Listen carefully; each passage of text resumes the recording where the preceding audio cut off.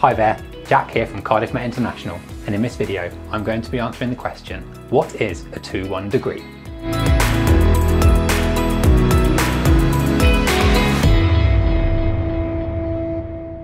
Welcome to the latest video in my series on understanding UK universities for international students. If you haven't watched any of my videos before, my name is Jack and I'm part of the international team here at Cardiff Metropolitan University in the UK.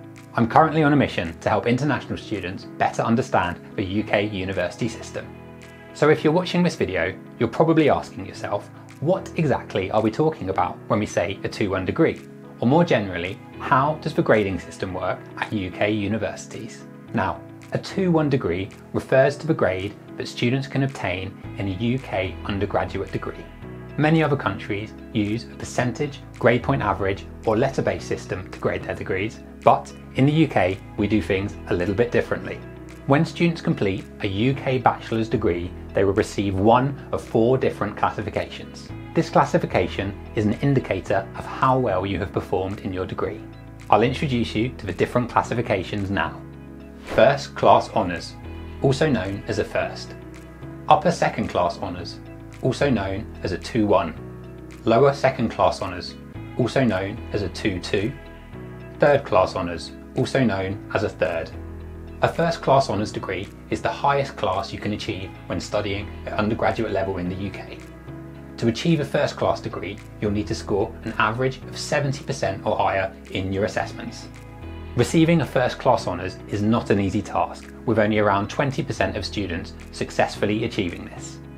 An upper second class honours degree, or 2-1, is the class obtained by the highest percentage of undergraduate students in the UK. To achieve a 2-1, you'll need to score an average of 60 to 69% in your assessments. Receiving a 2-1 is a great achievement and requires a lot of hard work. Many graduate schemes and postgraduate programs require you to have a 2-1 when you apply, so achieving one will put you in a great position when you're thinking about your next steps. Up next is a lower second class honours degree, or 2-2. To achieve a 2-2, you'll need to score an average of 50 to 59% in your assessments. A lot of work is required to achieve a 2-2, so it is still a good achievement and will look great on your CV. There are still plenty of opportunities, both in employment and further studies, for students who achieve a 2-2. And finally, a third class honours degree.